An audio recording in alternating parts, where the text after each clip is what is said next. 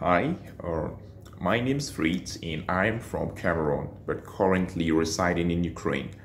I have been teaching English for two years and have had a two years classroom experience before taking the ITTT course, but I never knew how to address certain activities and situations in the classroom properly, which I now know uh, because of the relevant information that the ITTT course has provided to me.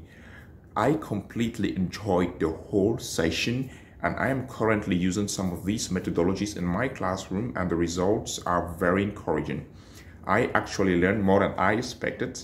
Most importantly, the ESA method and can proudly address myself now as a more confident and qualified teacher with an upgraded CV.